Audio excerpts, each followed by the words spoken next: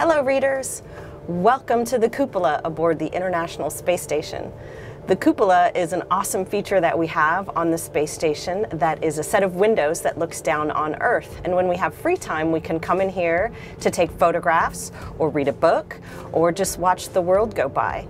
We also use the cupola for work. Uh, sometimes we use the robotic arm to capture uncrewed cargo vehicles and place them onto the space station so we can unload the cargo. And we use these windows to look out and be able to see what we're doing.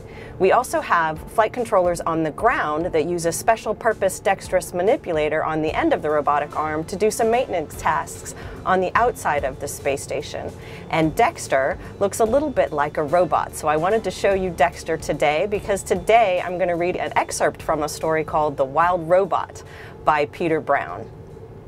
This is a story about a robot who opens her eyes for the very first time in an unexpected place, a wilderness island.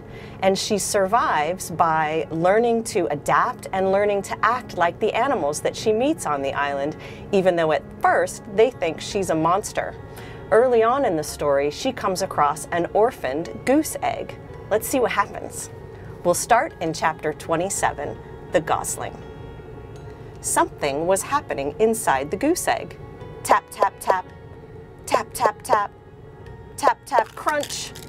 A tiny bill poked through the eggshell, peeped once, then continued crunching away. The hole grew bigger and bigger, and then, like a robot breaking from a crate, the hatchling pulled himself out into the world. He lay quietly in his nest with his eyes closed, surrounded by chips of broken shell. And when his eyes slowly winked open, the very first thing he saw was the robot looking back. Mama! Mama! peeped the gosling. I am not your mother, said the robot. Mama! Mama! I am not your mother. Food! Food! The gosling was hungry. Of course he was. So using her friendliest voice, Roz said, What would you like to eat, little darling? Food was the only response. The hatchling was far too young to be helpful. Roz needed to find a grown goose. So she scooped up the nest with the gosling inside, placed it on her flat shoulder, and marched through the forest, searching for geese. There's the gosling in his nest. Chapter 28 is called The Old Goose. There's the old goose. Ordinarily, the forest animals would have run away from the monster, but they were awfully curious why she was carrying a hatchling on her shoulder. And once Roz explained the situation, the animals actually tried to help. A frog pointed Roz up to the squirrels. A squirrel recommended that she speak with the magpies, and then a magpie sent them over to the beaver pond. The ground grew soggier, the grass grew taller, and soon the robot and the gosling were looking across a wide, murky pond. Dragonflies buzzed through the reeds. Turtles sunned themselves on a log. Schools of small fish gathered in the shadows. And there, floating in the center of the pond, was an old gray goose. A very good morning to you, the robot's friendly voice boomed over the water. I have an adorable little gosling with me.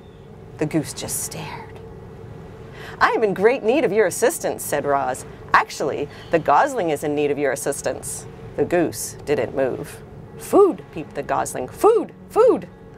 That tiny voice was more than the old goose could bear, and she began gliding across the pond and squawking to the robot. What are you doing with that hungry hatchling? Where are his parents?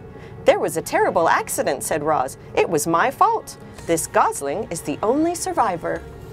If there was a terrible accident, why does your voice sound so cheerful? The goose flapped her wings. Are you sure you didn't eat his parents? I am sure I did not eat his parents, said Roz, returning to her normal voice. I do not eat anything, including parents. The goose squinted at the robot. Then she said, Do you know who his parents were? I do not know. Well, they must have belonged to one of the other flocks on the island because nobody in my flock is missing. Will you take the gosling? I most certainly will not, squawked the goose. I can't take in every orphan I see. You say this is your fault? It seems to me that it's up to you to make things right. Mama, Mama, peeped the gosling. I have tried to tell him that I am not his mother, said the robot, but he does not understand. Well, you'll have to act like his mother if you want him to survive. There was that word again. Very slowly, the robot was learning to act friendly. Maybe she could learn to act motherly as well. You do want him to survive, don't you? said the goose. Yes, I do want him to survive, said the robot, but I do not know how to act like a mother. Oh, it's nothing. You just have to provide the gosling with food and water and shelter. Make him feel loved, but don't pamper him too much. Keep him away from danger, and make sure he learns to walk and talk and swim and fly, and get along with others, and look after himself. And that's really all there is to motherhood. The robot just stared. Mama, food, said the gosling. Now would probably be a good time to feed your son, said the goose. Yes, of course, said the robot. What should I feed him? Give him some mashed up grass, and if a few insects get in there, all the better. Roz tore several blades of grass from the ground.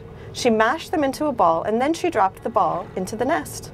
The gosling shook his tail feathers and chewed his very first bites of food.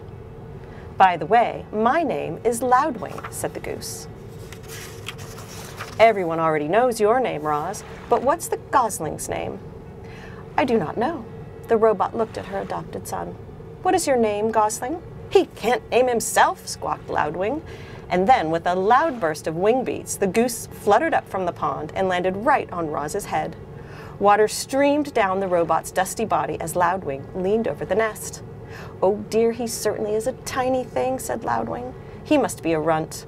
I'll warn you, Roz, runts usually don't last very long. And with you for a mother, it'll take a miracle for him to survive. I'm sorry, but it's the truth. However, the gosling still deserves a name. Let's see here. His bill is an unusually bright color. It's actually quite lovely. If I were his mother, I'd call him Brightbill. But you're his mother, so it's up to you. His name will be Brightbill, said Roz, as the goose fluttered back to the water, and we will live by this pond where he can be around other geese. I will find us a sturdy tree nearby. You will do no such thing. The goose flapped her wings. A tree is no place for a gosling. Brightbill needs to live on the ground like a normal goose. Loudwing sized up the robot. I suppose you two will need a rather large home. You'd better speak with Mr. Beaver. He can build anything. He's a little gruff at times, but if you're extra friendly, I'm sure he'll help you out. And if he gives you trouble, remind him that he owes me a favor. So Roz speaks to Mr. Beaver and he does agree to build a house for her and Brightbill.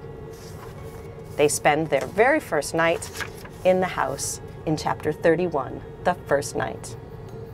The stars were out. A fire was crackling in the fire pit.